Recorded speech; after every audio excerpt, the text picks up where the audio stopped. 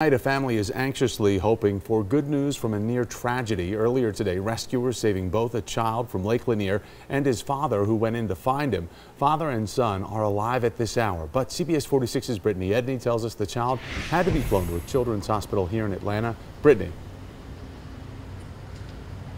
Well, Thomas, the 10 year old was airlifted to a children's hospital. Officials haven't yet said which one exactly that is. I can tell you that just before 3 p.m. this afternoon, Hall County fire and rescue officials tell us that a 30 year old man and his son, they were hanging out in the beach, beach area by Margaritaville at um, Lanier Island when all of a sudden the father noticed that his son was missing. So people started looking for the child in the water and then lifeguards and other visitors well, they spotted the boy, pulled him out of the water, and they started to provide whatever kind of care that they could at that time.